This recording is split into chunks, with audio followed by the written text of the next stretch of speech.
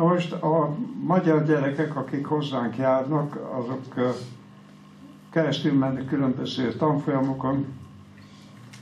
Majdnem minden tanfolyam megköveteli azt, hogy magyar nyelvirodalomból tudjanak valamit, magyar verseket tudjanak, legalább száz magyar népdalnak az első verszakát tudják énekelni, azon kívül magyar földrajzot, és természetesen az 1914 előtti földrajzot tanítjuk nekik, tehát a Kárpát-medencének a földrajzát,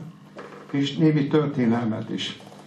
A történelemben egyrészt az, a származásunkat ugye még ma sem tudjuk pontosan, de nyilván Árpád apánkról mindenkinek tudnia kell,